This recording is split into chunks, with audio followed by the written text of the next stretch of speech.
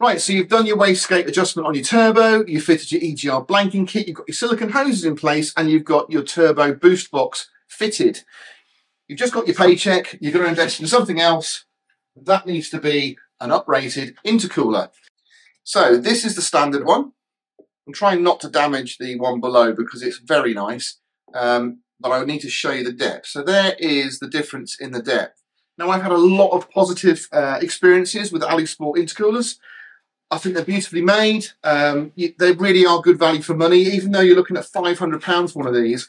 As I said before, a genuine uh, replacement TD5 intercooler from Land Rover would be easily £500.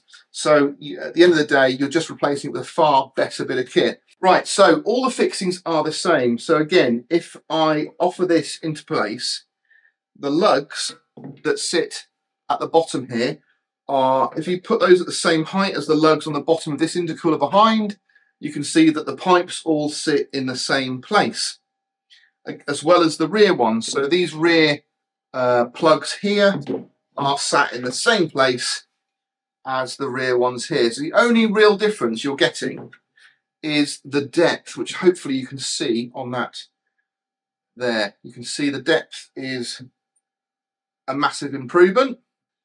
Now, I know I've used terms like adjusting your wastegate, removing EGR valves, you know, intercooler fins, everything like that. And it's a lot of jargon, but trust me, this is a real layman's job. And as long as you can operate a spanner and a screwdriver, and you've got a bit of patience, I'm pretty confident this is a job that most Land Rover owners could do.